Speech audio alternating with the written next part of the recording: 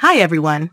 In this video, we're going to guide you step by step on how to delete flashcard sets on Quizlet. Whether you're cleaning up your library or just want to remove some old sets, we've got you covered. Before we begin, don't forget to hit the subscribe button so you never miss out on helpful tutorials like this. Step 1. First, open your preferred browser and navigate to the Quizlet website. Once there, log into your account using your username and password. If you're already logged in, you're good to go. Step 2.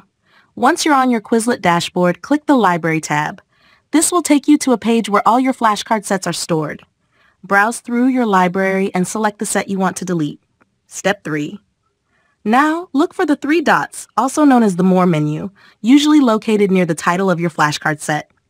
Click on it to open a drop-down menu with additional options.